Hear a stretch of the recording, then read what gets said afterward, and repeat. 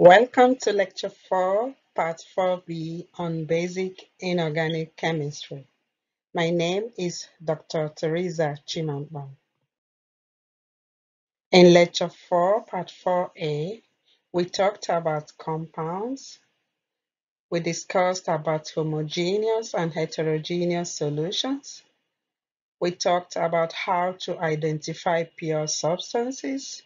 We talked about physical and chemical properties.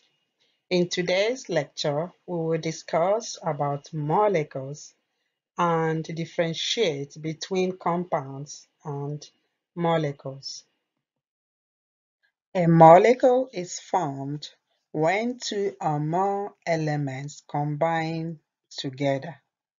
The two elements can be the same or they can be different. So when you combine one oxygen plus another oxygen, you form oxygen molecule. So in this case, the two elements are the same. The two elements can also be different. So for instance, when you combine two hydrogen atoms plus one oxygen atom, you will form water molecule. So this is also an example of a molecule. When you combine two hydrogen atoms, you will form hydrogen molecule. So these are examples of molecules. So a molecule can be formed from two elements that are the same or it can be formed from two elements that are different. When two or more different elements combined, a compound is formed. So for a compound, the two elements must be different.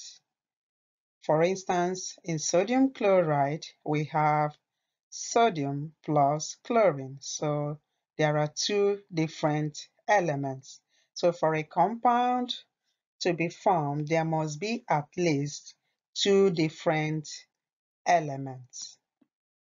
Right. Not all molecules are compounds. And the reason is because some molecules such as hydrogen gas, as you can see here, or ozone, as you can see here, have only one type of element. So, because some molecules have only one type of element, they are not qualified to be classified as compounds because a compound must have at least two different elements. Compounds that have two elements are called binary compounds. An example is sodium chloride.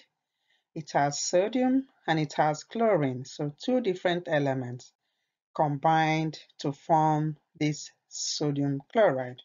The sodium chloride is an example of a binary compound. When three or more elements are combined, that compound is called polyatomic compound. An example is H2SO4. You can see it has three different elements. It has hydrogen, it has sulfur, and it has oxygen. So examples of molecules are water molecule. So it has oxygen and hydrogen. Remember a molecule can be formed from two different elements and it can be formed from the same elements. So the two elements can be the same or but they can be different. So this is another example of molecule this is another example of a molecule, ozone. Examples of compounds are sodium chloride. You can see it is a compound because it has two different elements. Another example is water. So water is an example of a compound because it has two different elements. Carbon dioxide is another example of compound because it has two different elements. You notice that water is a compound and water is also a molecule. because a molecule can contain two different elements and it can contain two elements that are the same. So that's why water is a molecule and also a compound. So we now look at how to write different compounds formulae. All compounds must have overall zero charge. This means that charges of ions in any compound must add up to zero. Sodium chloride, for example, sodium has positive charge, chlorine has negative charge. Positive and negative equal to zero. That's why sodium chloride exists as neutral compound. Let's have a look at other examples. Calcium hydroxide. Why does it exist as a neutral compound?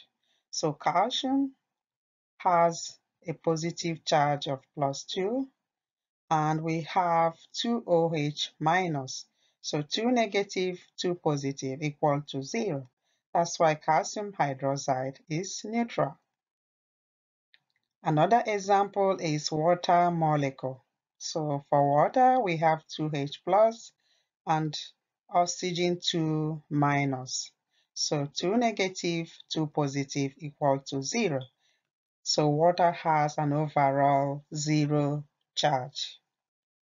Potassium hydroxide is another example. So potassium has a positive charge and OH has a negative charge. So negative and positive equal to zero. That's why potassium hydroxide is neutral.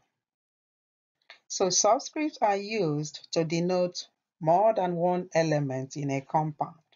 Example, for this compound, this subscript 2 shows that there are two carbon atoms. This 5 shows that there are 5 hydrogen atoms. Let's look at ions. An ion is formed when the number of protons in an atom is not equal to the number of electrons. So, an ion results when the number of protons is not equal to the number of electrons in an atom. An ion can either have a positive charge or it can have a negative charge. When an atom gains electrons, it becomes negatively charged and it is called an anion. When an atom gives out electrons, it becomes positively charged and is called a cation. So an example is, for example, from sodium chloride. Sodium chloride is made up of sodium with a positive charge and chlorine with a negative charge. So sodium with a positive charge is known as cation while chlorine with a negative charge is known as anion. So a cation is positively charged while an anion is negatively charged.